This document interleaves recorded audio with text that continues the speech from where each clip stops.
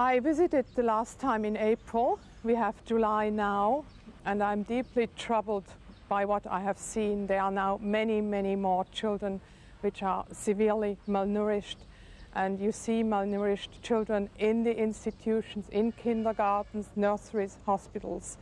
And even the North Korean government admits that they have 80,000 children below five or below six which are severely malnourished.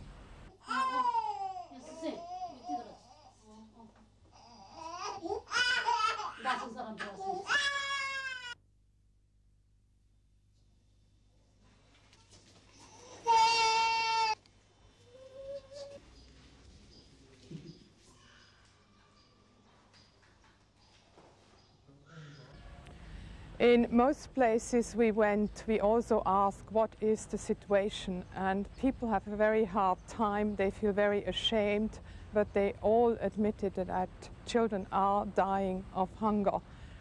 In one nursery, the county head said to us that in her county, one or two kids per month are dying of hunger in each of the 35 nurseries.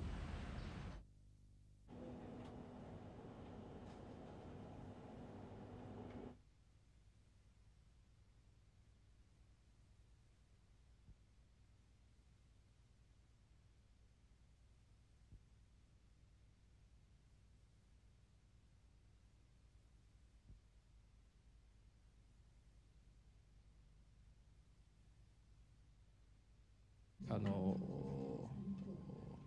エリツィン政権から見れば反対派でございますからあのこれをもうすでに飢餓状態に入っているわけでございましてこれはまあ私が見てきた範囲でございます。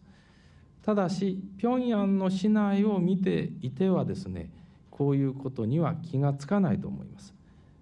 あの平壌から一歩地方に出ますれば全く違った世界が見えてくるとそのぐらいあの違う状況でございます。